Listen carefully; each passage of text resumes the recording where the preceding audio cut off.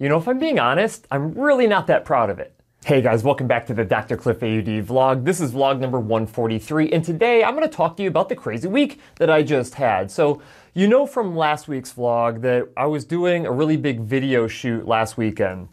I ended up recording last vlog Sunday, or sorry, Saturday evening, and I had already gone through one day of this photo shoot or in this video shoot, and uh, we had another day Sunday, which was just a really big day of recording different footage inside of my clinic and doing some additional interview footage and stuff like that. So uh, crazy busy. Yes, I had to wear makeup. Uh, I'm really not that proud of it, but it is what it is. Um, you know, if I would have been blessed with better looks, maybe I wouldn't have to use makeup. But you know, anytime that you're on camera, in fact, I don't use any makeup when I do these videos. So I guess these other videos will probably make me look better. Hopefully, that would be great. Plus, they had really amazing camera equipment. I actually asked one of the camera guys how expensive the camera was that he was using, and he said that that camera is around $220,000. And I'm like, holy cow. I think my whole camera setup that I'm recording on right now is probably like 1500 uh, if you include all the lighting and all the other stuff, maybe two grand, 2,500 somewhere in there for this, you know, at home YouTube studio that I'm in right now. But uh, nonetheless, it was a really uh, fun weekend. Got a ton of footage. I can't wait for it to come out and I can't wait to kind of actually launch and announce these projects that I've been working on. So um, that kind of led into a my well my first three day week. So I had told you previously that I was going to be going down to three days a week inside of the clinic. So now I work Monday, Tuesday, and Wednesday. I've already started talking to some of my patients and saying, hey, some of your gold visits will not be with me. They'll either be with our extern or they'll be with another audiologist inside of our clinic. Most of them are totally fine with it because they've interacted with these other individuals during the course of their care with me anyway. And so uh, they know that they can trust these other providers inside of my office. So uh, it was still kind of crazy because Kelsey, my current extern, was not in the office this week. And so I had to basically handle all of my patients on my own. I did have my uh, my assistant Alexis, who helped out a ton this week, uh, couldn't do it without her, so she's really a, a, strong team player. And then the other audiologists helping me out as well throughout the week, so that was that was fantastic. Um, so let's talk about what else happened this week. On Wednesday, we had our, I don't know, is it like our eighth or ninth podcast episode? We actually had Barbara Kelley, who's the executive director of Hearing Loss Association of America, which is abbreviated HLAA. I actually had her fly out to Arizona for that particular podcast. It is a fantastic one, if you ask me. I think that you should go check it out after you're done watching this vlog. But we talked a lot about, you know, how HLAA started. Uh, we talked a lot about over-the-counter hearing aids. We talked about Medicare and Medicare uh, you know, the trying to get hearing aids covered inside of Medicare, why it didn't happen, and then the potential for it to happen maybe in the future. And then, of course, we talked about best practice care and person centered care came up a lot inside of our conversation. But it was a really good conversation with Barbara, Dr. Cook, and I. And I really think it's worth the watch. I think it was about a 55 minute long episode. We had Kelsey come on to do the Q&A, but she was virtual. She didn't because she did not come into the office this week, but she wanted to be on the show uh, and help us out. So we tried to get her in virtually, but we're still having audio issues with the virtual guests, and that you know obviously doesn't sit well with me.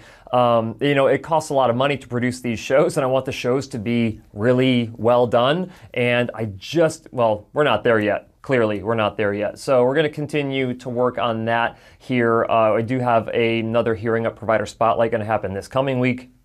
And I'm nervous that we're not going to get good audio with her uh, because she's going to be a really good interview as well on the show. But nonetheless, fantastic episode. I think this is the third time I've said it. Go back and watch that episode. It was fantastic. Um, so, what next? Uh, Thursday and Friday. So, this was the first week that I've had Thursday and Friday dedicated to doing content creation and having meetings. And if I'm being really honest, it was a lot of meetings this past Thursday and Friday. Uh, pretty much from the very beginning of the day throughout the end of the day, on a lot of them, uh, we're doing meetings. So, so who do I meet with? Well, we onboard new hearing up providers almost every week. Um, we have a lot of, you know, uh, uh, talks with different sponsors of the channel.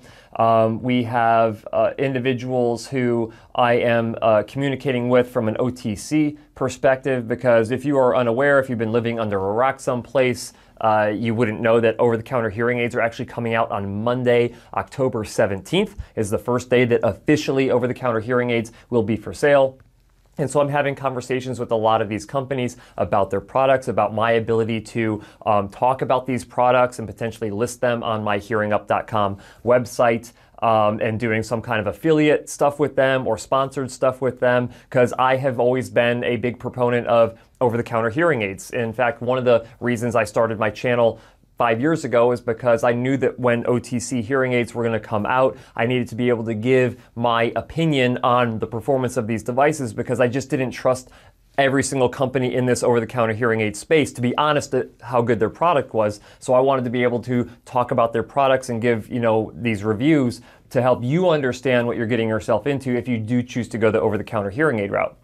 But I still think over-the-counter hearing aids are great because the, one of the two outcomes are going to be is that A, you try over the counter hearing aids and you like them and you feel like you're hearing better and that's great. Or if you try them because you're like, ah, I want to get my feet wet with something, you try them and you don't like them, then you're like, yeah, okay, I need to go get my hearing tested by a professional. So in my opinion, it's a win-win. More people treat their hearing loss um, and you know it's more accessible, more affordable, and it gets you know, it's kind of like a stepping stone to doing, you know, prescriptive level care. So I really don't see any downsides to it at all to be honest with you. And even though direct to consumer hearing aids have been around for decades at this point, in fact, a lot of the the new OTC hearing aids are just going to be the same exact devices that you've always been able to get. They're just rebranded OTC, and now the FDA has the ability to regulate these devices, which is nice because there's a lot of companies out there who are basically uh, illegally going to be selling direct to consumer hearing aids that are not meeting the over the counter hearing aid criteria. So we'll see if the FDA actually does something. I doubt that they will. It'll really be interesting to see what they do with Apple since Apple has a hearing aid functionality inside of their Apple AirPods Pro and Apple AirPods Pro 2 devices, even though they don't call them hearing aids. So again, we'll see if the FDA actually cracks down on Apple with that and forces them to register it as an OTC hearing aid. But nonetheless, a lot of calls with that. And a lot of my time over the course of the next three months or so is going to be spent heavily reviewing a lot of these products. Now, some of these products I've already reviewed because, like I said, they have not changed to any significant capacity from what they were as a DTC hearing aid, so direct to consumer hearing aid, on their transition to an OTC, which is an over the counter hearing aid. So some of those are just going to be like, yeah, here's it's the exact same product. They just repackaged it in a package that says it's an OTC hearing aid.